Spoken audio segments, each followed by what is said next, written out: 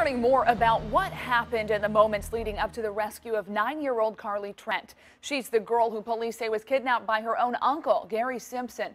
A desperate eight-day search came to a dramatic end yesterday, just 20 miles from where the girl was taken.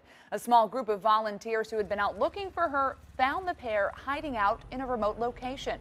One of them held Simpson at gunpoint while the other called 911.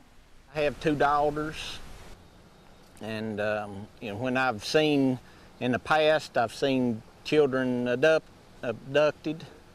Uh, I've wanted to help, and I felt like, you know, I wanted to, wanted to try to help this time.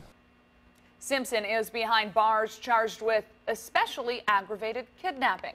His bond has been set at $1 million. He's scheduled to be arraigned on Monday. If convicted, he faces up to 60 years in prison.